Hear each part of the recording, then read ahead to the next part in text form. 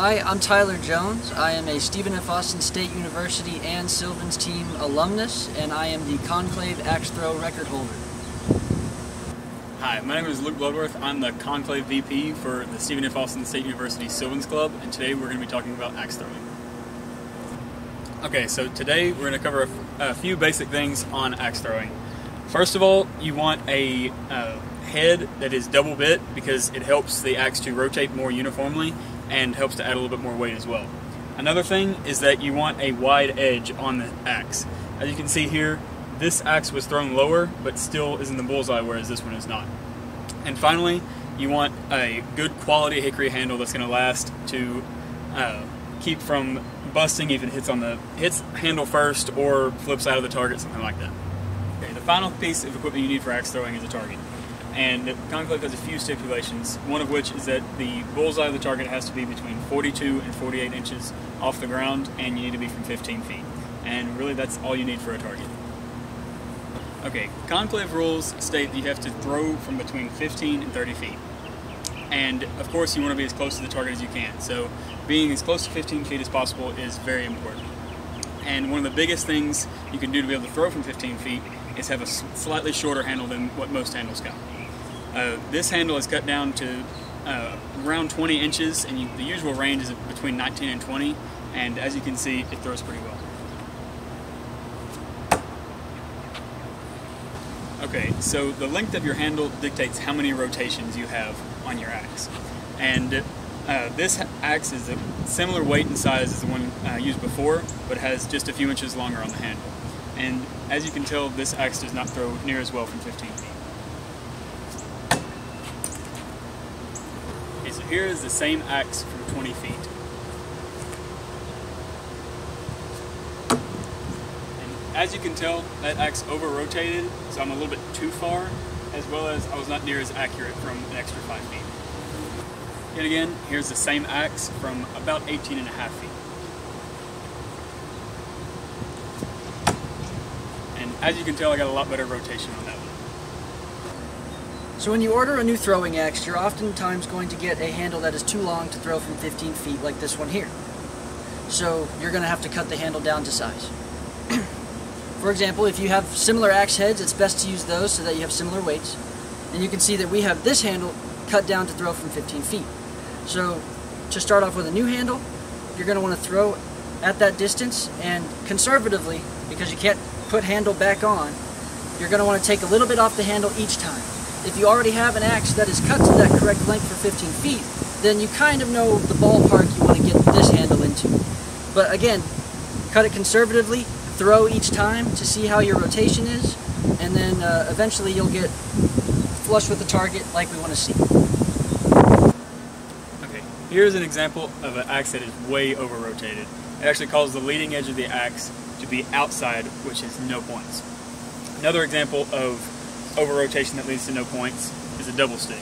And because you have uh, the leading edge is technically in, but since it's a double stick, it's no points.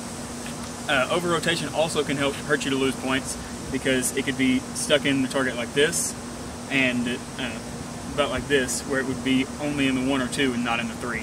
Whereas if it was all the way perpendicular with the ground and parallel with the axe target, then uh, your edge will completely be used up and will be in the highest point. Uh, under rotation as well can be a problem because as you can see here, it can uh, cause you to lose points the same way, or it could hit with the handle first and hit and fall back out, which is no points. So in review, if you throw your axe and you have the axe head at an angle to the target and the handle is pointing out like this, the axe is over rotating.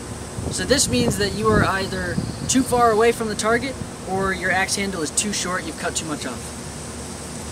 What we're looking for is the axe head like this one to be flush with the target and the handle, handle to be pointing straight down to the ground.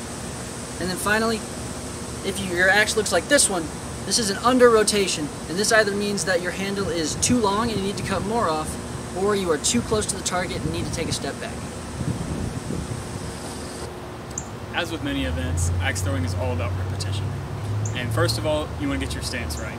You want to put your feet in the same place every time and minimize your movements. And this can easily be done by just picking a spot in the dirt and throwing from that spot every time. Not walking up, not doing a bunch of unnecessary movements, anything like that. Uh, secondly, power. Uh, you want to be able to throw the axe hard enough to stick in the target, but you're not trying to kill the target, you're not trying to break anything like that, and it actually increases your chance of breaking the axe or messing up the target if you're throwing harder anyway. Uh, finally, your grip on the axe is important as well. You don't want to be gripping the axe up here or uh, different places every time. I choose to grip it from the end every time because it helps with repetition. Uh, finally, you want to be able to line up your axe directly with the target. You don't want it to be off to the side or off at an angle like that because that affects your rotations and how it sticks in the target. Finally, you just want to put all these things together and do your best.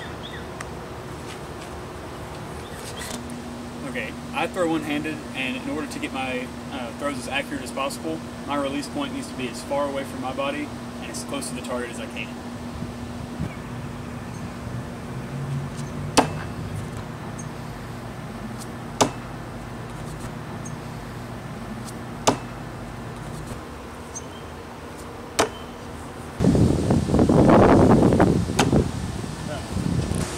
So to throw the axe two-handed, uh, what you're going to want to do first with your hands is I put your non-dominant hand at the very bottom of the axe handle, and then your dominant hand on top of that.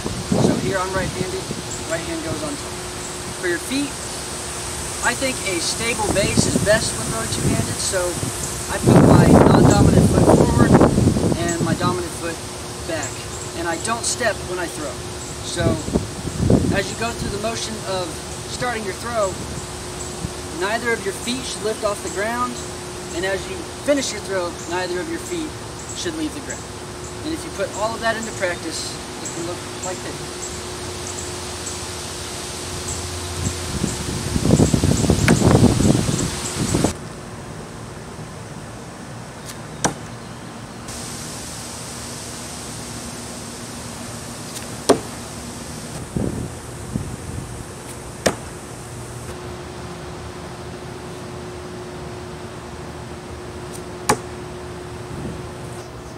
As with every event, practice is key with axe throwing. You want to be able to practice in as many different scenarios as possible. You want to be able to practice in different weather conditions, whether it be hot or cold. You want to be able to practice on different types of targets if possible, whether it be hard or soft targets, as well as you want to be able to practice with people around as well. Those pressure conditions are what you're going to find at Conclave, and it really helps out on your throwing abilities. All right, so you set the record in 2019 by throwing the first ever perfect, perfect throw, scoring a perfect 15. What's some advice you would give to people just wanting to start axe throwing? Uh, I would say probably the most important thing for a beginner axe thrower is to choose a style of throwing that gives you a stable base and don't try to mess with the styles that have you taking steps or even taking multiple steps in some cases.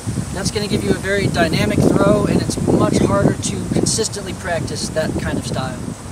I got you. That makes a lot of sense. So, what's something you would tell someone who's kind of been doing it for a little bit that really wants to get a lot better? I would say, so once you once you've got a little bit more experience axe throwing, uh, there will be times and certain targets, depending on the material, where you are wanting to intentionally over rotate the axe. So, I would say for more experienced axe throwers, try to keep your same throw style and mainly start experimenting with your release point. So, if you release up here versus down here, that can affect your rotation and it can give you an advantage with some targets. All right. Well, thank you for all the advice. Yeah, thank you. Okay, so some take-home messages from this video. You want to have a double bit axe with appropriate handling, and you throw as close to 15 feet as you can. Uh, you want to be able to repeat those motions of your throwing every time. And you want to do that with minimal motion and the uh, same power, same rotation every time. Finally, practice, practice, practice. You've got to practice to be good at axe throwing. And uh, I guess that's just about all there is to axe throwing. Uh, thank you for watching our Sylvans video.